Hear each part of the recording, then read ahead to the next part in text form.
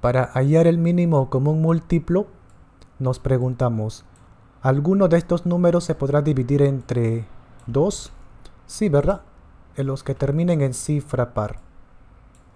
18 entre 2 es 9. Ahora, 45 no termina en cifra par, por eso se sabe que no se puede entre 2, así que baja como está. Listo, ahora 9 y 45 ya no se puede ninguno entre 2, pero sí entre 3. 9 entre 3 es 3, 45 entre 3 es 15.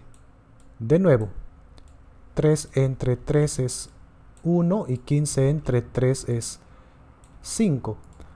Ahora por acá ya ninguno se puede entre 3, pero sí entre 5. 5 entre 5 es 1 y los que quedan como 1 bajan nomás. Y cuando al final así quedan puros unos, ahí termina y la respuesta sale de multiplicar acá.